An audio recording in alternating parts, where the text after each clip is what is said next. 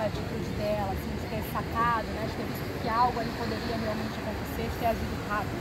É, foi algo muito positivo pelo lado dela ter é, visto a cena e ter feito, intervenção antes que acontecesse algo, acontecesse algo pior, como aconteceu no passado com com a morte de uma criança, nos anos 80. Né? E ela eliminou um passo à frente. E a gente fica feliz pelo resultado positivo, ter salvado a vida da criança e prendido o criminoso, porque acaba aguçando agora a população, os turistas que vão chegar aqui na Baixada Santista, para redobrarem a sua atenção. Então, tipo assim, não pode ter aquela arrogância, não, estou de olho na criança. Não, não. Você tem que estar muito perto, tem que orientar sobre ponto de ponto fixo, se é um prédio, se é um restaurante. Nada de combinar de carrinho de sorvete, carrinho de coco, carrinho de milho, que eles movem. Então, o segredo é, crianças acima de 5 anos já conseguem memorizar o celular do papai e da mamãe. Então, por favor, ensine seu filho, a sua filha a memorizar telefones.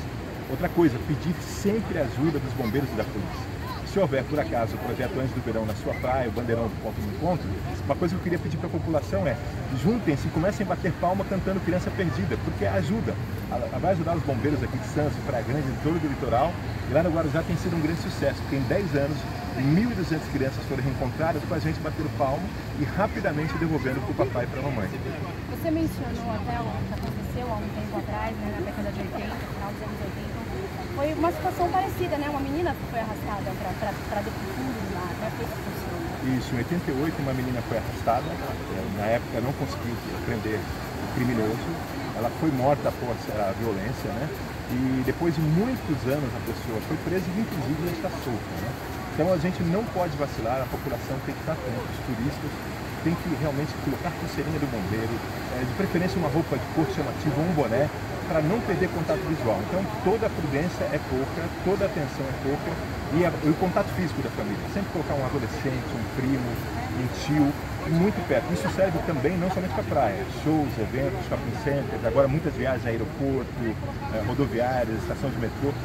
Todo lugar que você se deslocar com seu filho, com seu parente, com criança, não tire o olho e coloque sempre alguém de confiança para tomar conta o tempo todo. Vai passear com ele no shopping, sempre ao lado ou na frente, nunca atrás. Agora, sou coordenador e criador do projeto Antes do Verão, criado em 2006.